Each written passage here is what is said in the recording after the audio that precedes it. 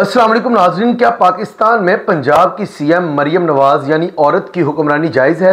क्या इस्लाम ने मरियम नवाज़ या किसी भी औरत को ये इख्तियार दिया कि वो किसी मुल्क किसी रियासत या किसी सूबे की हुक्मरान बन जाए। इस पर डॉक्टर जाकर नाइक ने बड़ा दबंग तबसरा किया। आइए उनकी गुफ्तु सुने फिर इस पर बात करते हैं। तो औरत की हुक्मरानी का भी बता दें कॉन्सेप्ट इस्लाम में। औरत की हुक्मरानी का जो सवाल है आज की तारीख में एक हदीस अल्लाह के रसूल की और वो खसूस पर्शिया के बारे में थी कि अगर औरत लीडर रहेंगी कंट्री की तो वो देश कभी तरक्की नहीं करेगा।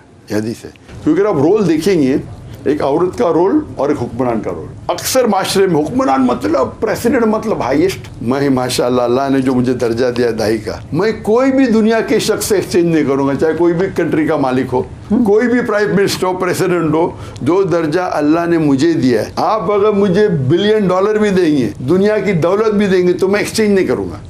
मैं जाऊँ खुश हूँ। तो लेकिन अक्सर लोग समझते president of the country prime minister of the country highest है पोस्ट आपकी कंट्री का लेकिन इस्लाम में अल्लाह ने मर्द और औरत को अलग अलग रोल दिए। इक्वल है, लेकिन यकसा नहीं है। इक्वल ओवरऑल कुछ रोल में मर्द का दर्जा हाई है, कुछ रोल में औरत का दर्जा हाई है। मिसाल के तौर पे। और बाकी जगह पे सेम है। मिसाल के तौर पे अगर एक चोर मेरे घर में आएगा तो मैंने कहूँगा, मैं मानता हूँ खातन के हकूक़ में I believe in equal rights मैंने कहूँगा बीबी को जाकर झगड़ा करो। मैंने कहूँगा बेटी से झगड़ा करो।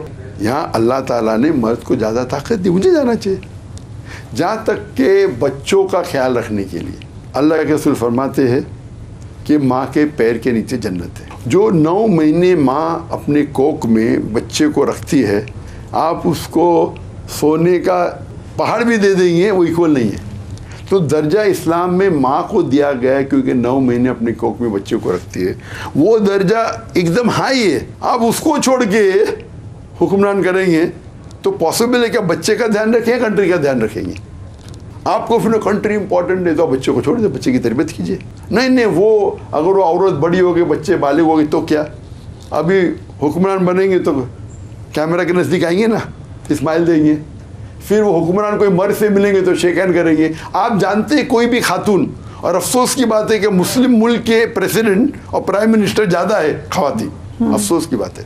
हमारी चीफ मिनिस्टर भी हैं एक खातून इस वक्त। जी। बांग्लादेश और पाकिस्तान की दोनों खातून थे। अभी नहीं है मंदिल्ला मैं उस खातून से मेरे कोई गिला शिकवा नहीं। लेकिन क्यों खातून बने? क्या मर्द मर गए उस दुनिया के? उस शहर के सॉरी उस मुल्क के। क्योंकि आप देखेंगे देखिए आप मीडिया पे क्या करें शेक हैंड कर रहे। अल्लाह के रसूल फरमाते, अगर आप नामहरम को छुएँगे, एक खीला सिर में डालना बेहतर है, सिल में खीला ठोकना बेहतर है, बनस्बत नामहरम को छूना। यहाँ तो नहीं, अभी प्रोटोकॉल है तो हैंड शेक करते। हमारे मर्द भी करते। मैं जानता नहीं अल्लाह वालम हो सकता है।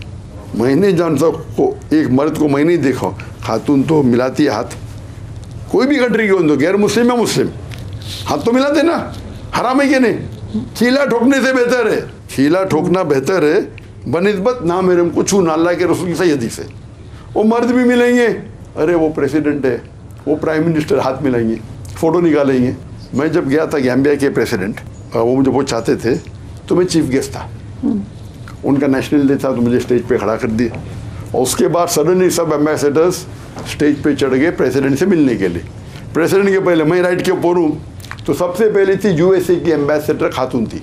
आके मुझे हाथ मिलाने गए तो मैं बोला सॉरी मैम यू नो तो प्रेसिडेंट ने देखा। मैं उससे कहा sorry permit us to shake hands हमारी, हमारा दीन हमें इजाज़त नहीं देता हैंड शेक करने। लोग क्या बोलेंगे, नहीं, मेरी बीवी नाराज़ होगी ये गलत जवाब है। अगर बीवी इजाज़त देती शेक हैंड कर सकते नहीं।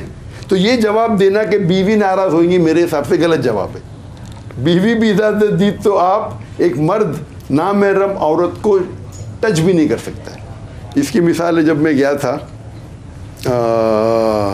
इस्लामाबाद में एक एक ऑर्फनेज के लोग उन उनके जो मालिक थे बोले और तुम्हें बच्चों की मोहब्बत में गया? बोले उनके साथ फ़ोटो नहीं बच्चे हैं। ठीक है उनको हिदायत देंगे। सडनली जब प्रोग्राम ख़त्म हुआ तो लड़कियाँ लड़कियाँ के बालिक थे पंद्रह साल की सोलह साल की चौदह साल की, तेरह साल, सब वाले स्टेज के ऊपर आके फट क्या हो गया ये? मैं फ़ौरन नीचे उतर गया मेरा क्या है मुझे मेरे, दुनिया क्या कहती छोड़ो, मीडिया क्या कहती छोड़ो, मुझे अल्लाह को जवाब देने का है। इन्हों मुझे कहा, नहीं, बिल्कुल नहीं क्या खावतीन आने वाली। तो मैं बोला, क्या हो रहा है? अरे नहीं नहीं, वो मेरी बच्चियाँ हैं। वो मालिक कहता है, मेरी बच्चियाँ हैं। मैं बोला, आपको भी छूना हराम है। बच्ची कहो बेटी को कहना जायज़ है। जब तक आपकी बीवी को बीवी से कोक से जन्म नहीं ली वो आपकी बेटी नहीं है। बोल सकते छू भी नहीं सकते। वो डर गया। नहीं पाकिस्तान में होता है पाकिस्तान में होता है दो। पाकिस्तान में क्या होता है मुझे लेना देना है नहीं। आप छू भी नहीं सकते उनको। बेटी बोल सकते। क्योंकि वो आपकी नाह महरम है। तो ये माशरा बेटी बेटी बोल के सब कुछ करेंगे आप। आप अगर उनका ख्याल रख रहे आप उनको पैसा दे रहे तनख्वाह दे रहे रोटी कपान मकान दे रहे रोटी कपड़ा मकान दे रहे छू भी नहीं सकते। ये इस्लाम का उसूल है। तो जब हम आते हैं जो आपके सवाल का। औरत की हुक्मरानी। औरत की हुक्मरानी। तो वो कॉम्प्रोमाइज़ कर रही है। जो अल्लाह ने दर्जा दिया गया माँ के पैर के नीचे जन्नत है। अल्लाह के रसूल फरमाते एक शख्स जब आते सही बुखारी की हदीस है चैप्टर चैप्टर नंबर एट। हदीस नंबर टू, के वॉल्यूम एट चैप्टर टू हदीस टू कि एक शख्स आके पूछते अल्लाह के रसूल से कि सबसे ज़्यादा मोहब्बत किससे करना चाहिए? तो अल्लाह के रसूल के, तेरी माँ, उसके बाद तेरी माँ, उसके बाद तेरी माँ, उसके बाद तेरा बाप। मतलब two third seventy five percent love and companionship जाता है माँ को three fourth sorry three fourth seventy five percent जाता है आपकी माँ को twenty five percent one fourth जाता है आपके बाप को। उसका मतलब माँ को मिलता है gold medal silver medal bronze medal बाप को जाता है कॉन्सलेशन प्राइज तो अगर हुक्मरान के चक्कर में आप इतने शरीयत को तोड़ेंगे, मीडिया के सब में आएँगे, हाथ मिलाएँगे मीटिंग होगी आपके रूम में आपका सेक्रेटरी कौन? मर्द। आपका एडवाइज़र कौन? अक्सर मर्द। कम बंद कमरे में एक खातून और आदमी ना मेरम साथ में हैं तो अल्लाह के रसूल कहते तीसरा आदमी शैतान है। कौन सा प्राइम मिनिस्टर लेडी है? मुझे बताओ, एक प्राइम मिनिस्टर कभी भी ज़िंदगी में कम, बंद कमरे में आदमी के साथ थी, अकेले। इसलिए बिज़नेस के अंदर भी। मेरी बहन, माशाल्लाह बिज़नेस हैंडल करती है। बहुत बड़ा बिज़नेस सिर्फ़ लेडी सेक्शन जेंट सेक्शन अलग। जेंट सेक्शन दूसरा देखता है। कर सकते आप। बिजनेसमैन बन सकते हैं बिज़नेस वुमेन बन सकते सीईओ बन सकते लेकिन कोई भी शरिया के रूल को नहीं तोड़ना चाहिए। तो जब हुक्मरान बनती है हाथ खातून, वो नमाज़ भी नहीं पढ़ा सकती है। हुक्मरान अगर नमाज़ पढ़ना चाहता है, इमाम बनना चाहता है, नहीं बन सकते। तो मेरी लेक्चर इसके ऊपर। अभी वक्त की किल्लत है। कई दलील मैंने दिया हूँ कि अगर औरत हुक्मरान बनती है उसकी आखरत बर्बाद हो जाए। नाजरीन, डॉक्टर जाकर नाइक चाहे पाकिस्तान में हो, चाहे इंडिया में हो, चाहे मलेशिया में हो, या दुनिया के किसी भी मुस्लिम या नॉन मुस्लिम कंट्री में हो, वो वही बात करते हैं जो हक सच की बात है। डॉक्टर जाकर नाइक के मुताबिक औरत की हुक्मरानी इस्लाम में बिल्कुल नामुनासिब, नाजायज़ और हराम है। बल्कि नाजरीन, अलामा एहसान लाई जहीर, जो कि बहुत बड़े पाकिस्तान के लीडर, आलिम, स्कॉलर गुजरे हैं जब बेनज़ीर भुट्टो को ये पता लगा कि अलामा एहसान लाई जहीर पर अटैक हुआ है और वो एक बम धमाके में ज़ख्मी हो गए हैं। तो उन्होंने कहा कि मैं अलामा एहसान लाई जहीर से मिलना चाहती हूँ, जिस पर अलामा एहसान लाई जहीर ने मुकम्मल तौर पर साफ़ इनकार कर दिया। तो नाजरीन, ये एक अल्लाह के बंदे की, अल्लाह के वली की निशानी होती है कि वो ये नहीं देखता कि औरत का मरतबा, वो दुनियावी लिहाज से क्या है, वो हुक्मरान है, वो वज़ी अजम है, वो वज़ी अला है। बल्कि जो अल्लाह का बंदा है, अल्लाह का वली है, जो अच्छा आलिम और स्कॉलर है, वो ये देखता है कि चाहे औरत किसी भी दुनियावी मुकाम पर हो, लेकिन चूँकि इस्लाम ने इस बात की इजाज़त ही नहीं दी कि औरत हुक्मरानी कर सके, लिहाजा औरत की हुक्मरानी मुकम्मल तौर पर नाजायज़ है और इसके लिए डॉक्टर जाकर नाइक ने बहुत से सबूत भी पेश किए। तो नाजरीन, डॉक्टर जाकर नाइक ने बताया कि एक औरत का इस्लाम में अल्लाह पाक ने बहुत बुलंद मरतबा रखा है और लेकिन औरत को ये नहीं चाहिए कि औरत मर्द के मुकाबले में आकर खड़ी हो जाए या मर्द औरत के मुकाबले में आकर खड़ा हो जाए। अगर औलाद की बात की जाए तो अल्लाह पाक ने औलाद के हिसाब से जो माँ बाप पर हक है, उसमें से माँ को तीन हिस्से दिए और बाप को सिर्फ़ एक हिस्सा दिया।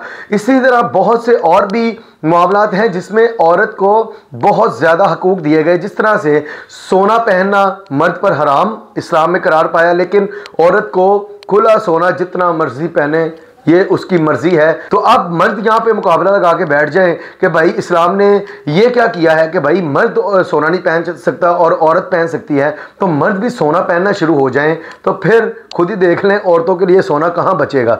तो अल्लाह पाक ने या उसके रसूल ने जो भी अहकाम दिए, जो भी कवानीन बनाए वो इसलिए बड़े ज़बरदस्त और बेहतरीन हैं कि ऐसे कवानीन जिस पे ना तो मर्द की ना ही औरत के हकूक पामाल हों, बल्कि ना और ना ही दोनों आपस में मध्य मुकाबल आन खड़े हों, बल्कि मर्दों के लिए अलग फ़राइज़, अलग हकूक हैं और औरतों के लिए अलग फ़राइज़ और अलग हकूक है। मर्दों की ज़िम्मेदारी अल्लाह पाक ने और लगाई, औरतों की ज़िम्मेदारी अल्लाह पाक ने और लगाई। नाजरीन, अगर दुनियावी लिहाज से भी देखा जाए तो आज हम देखते हैं कि अगर कोई गटर साफ़ करने वाला है, कोई ट्रक चलाने वाला है, कोई रिक्शा चलाने वाला है, आप देखेंगे कि वो सारे के सारे मर्द ही होंगे। और इसी तरह आप ये देखें कि जंग का जब आलम होता है, उसमें 99 परसेंट मर्द होते हैं और मर्द ही शहीद होते हैं, औरतें नहीं होती। लेकिन नाजरीन, अगर आप ये कहा जाए कि भाई यहाँ तो फिर औरतें भी कल को कोई नाली गटर खोल के बैठी हों तो ऑब्वियसली हम मुसलमान हैं, हम इस तरह गवारा नहीं करेंगे। इसी तरह औरतें कल को ट्रक चलाने शुरू कर दें, रिक्शे चलाने शुरू कर दें,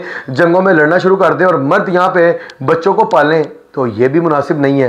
तो इस्लाम बड़ा प्यारा और ख़ूबसूरत मज़हब है बहुत खूबसूरत दीन है जो कि फितरत के लिहाज से बनाया इंसान की फितरत के लिहाज से बनाया है कि कौन सा इंसान कौन सा जेंडर क्या काम कर सकता है उसी तरह इस्लाम ने उन पर ज़िम्मेदारियाँ और उन, उन, उनके मुताबिक उनके हकूक़ का भी तयन कर दिया। नाजरीन इसी तरह ये औरत मार्च ग्रुप जो कि मगरबी दुनिया से चला और पाकिस्तान में भी कुछ आवारा औरतें औरत मार्च ग्रुप के नाम पर औरतों के हकूक़ के नाम पर बहुत से डॉलर भी बाहर से लेती हैं और साथ ही साथ पाकिस्तान की औरतों को भी ख़राब कर रही हैं, पाकिस्तान की बच्चियों को ख़राब कर रही हैं और ये बताने की कोशिश कर रही हैं कि आप पर पाकिस्तान में बहुत जुल्म हो रहा है।